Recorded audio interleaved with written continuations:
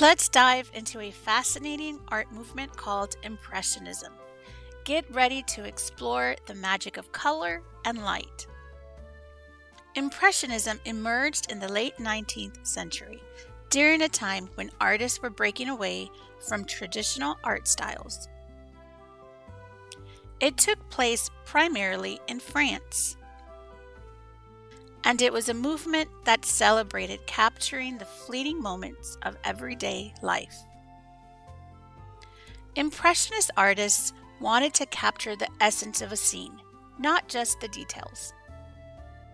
They focused on the play of light and color, using loose brushstrokes and vibrant hues to create a sense of movement and atmosphere. One of the key characteristics of Impressionism is the emphasis on capturing the changing effects of light.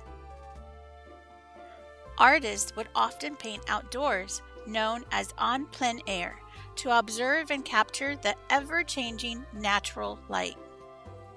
Impressionism was a revolutionary movement with new ideas about how art could be created and perceived.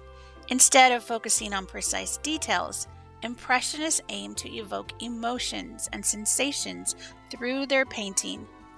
Some of the most popular Impressionist artists include Claude Monet, Pierre Auguste Renoir,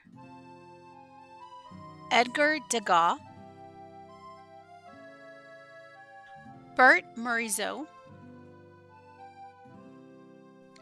Mary Cassatt, and Eva Gonzalez. They captured scenes of nature, city life, and everyday activities with their unique styles and techniques. Impressionism brought about several new art techniques that revolutionized the way artists approach their work. Here are some common art techniques that were invented or popularized because of Impressionism. Broken color Impressionist artists used small, distinct brushstrokes of pure color, often applied side by side or in a broken manner. This technique aimed to capture the play of light and color in a scene, creating a sense of vibrancy and movement. Soft focus. Impressionists intentionally blurred or softened the edges of their subjects to create a sense of atmosphere and to mimic the way our eyes perceive the world. This technique added a dream-like quality to their paintings. Capturing movement. Impressionists sought to capture the fleeting moments and movement in their paintings. They used loose brushwork and dynamic compositions to convey a sense of motion and spontaneity. Use of light and shadow. Impressionists were fascinated by the effects of light and shadow on their subjects. They depicted the changing qualities of light throughout the day, using contrasting light and dark areas to create depth and form. Today, we can still see the influence of Impressionism in our society.